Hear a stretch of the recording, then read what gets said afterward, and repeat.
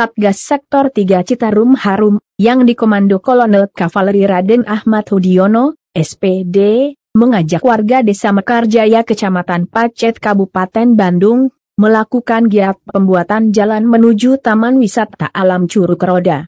Sabtu, 14 Agustus 2021. Anggota Satgas berjibaku bersama warga. Menurut Kolonel Hudiono, dalam pembuatan jalan ini, merupakan sikap kebersamaan yang nyata, bahwa tradisi yang melekat sejak zaman dahulu bagi warga, dan membudaya, yaitu gotong royong.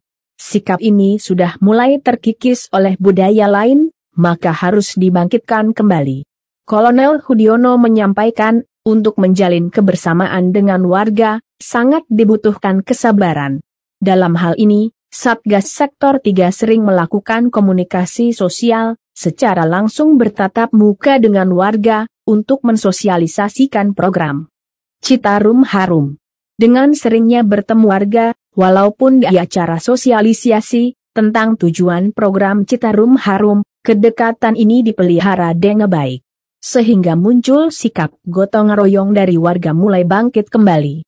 Dalam upaya kesuksesan percepatan pengendalian pencemaran dan kerusakan daerah aliran Sungai Citarum, Kolonel Hudiono melakukan ekspansi ke seluruh pihak, terutama meraih nurani masyarakat, supaya bisa bergerak bersama-sama dengan sikap gotong royong, untuk mencintai kebersihan dan perawatan lingkungan. Pada giat karya bakti ini, dan sektor 03 memaknai, kembalinya budaya gotong royong yang diciptakan oleh leluhur bangsa, jangan sampai hilang akibat budaya luar, karena masih banyak PR untuk menyelesaikan permasalahan di lingkungan sendiri, terutama pelestarian hutan. Yang sudah terkikis tanaman kerasnya. Curug Roda merupakan salah satu ikon tempat ini, untuk itu kami mengajak warga, untuk memelihara dengan baik, melalui akses yang perlu ditingkatkan, supaya Curug Roda banyak dikunjungi masyarakat banyak, mudah-mudahan jadi destinasi wisata yang terkenal. Upaya ini salah satu bagian dari cinta lingkungan, dengan harapan, tanaman keras yang sudah ditanam.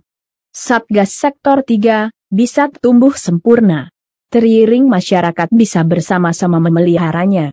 Pelestarian Curug Roda, sangat dibutuhkan kembalinya hijau alam hutan oleh tanaman keras. Dengan sikap seperti ini, kondisi air tanah akan terjamin keberadaannya, yang berdampak pada kelanggengan curug, maupun sungai yang bersih dan sehat. Secara bertahap, Kolonel Hudiono memperbaiki kerusakan alam sekitar. Area kerjanya, dengan peraihan nurani masyarakat, untuk bersama-sama menjaga pelestarian hijau hutani, sebagai cikal bakal pelestarian sungai yang bersih dan sehat. Demikian dilaporkan kontributor DNNTV Kabupaten Bandung, Jovina.